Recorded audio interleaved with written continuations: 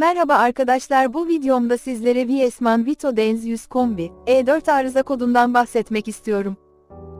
Öncelikle kombi ekranına herhangi bir arıza kodu gelmiş ise kombinizi resetlemeniz gerekir.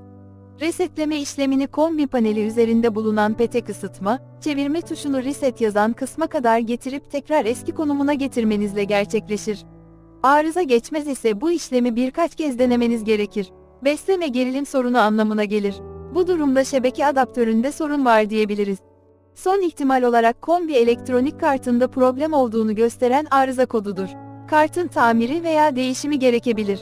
Tamir için iletişime geçebilirsiniz. Umarım video sizler için yararlı olmuştur. İzlediğiniz için teşekkür ederim. Destek için abone olursanız sevinirim.